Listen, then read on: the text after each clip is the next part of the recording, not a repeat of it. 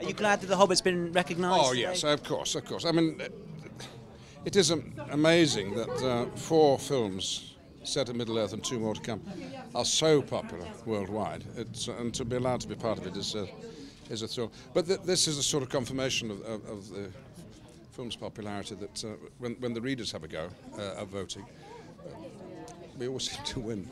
Lovely. I shall take this back to Peter Jackson. Okay. Does it mean more when it's the readers of a magazine like Empire? do The what? Does it mean more when it's the readers of a magazine? Yes, like I think Empire? it does. I mean, because they're they're experts and they're, and they're enthusiasts, and uh, and uh, they they hold uh, Middle Earth close to their hearts, as uh, all of the actors do who are involved. It's lovely. Okay. Thank you very much.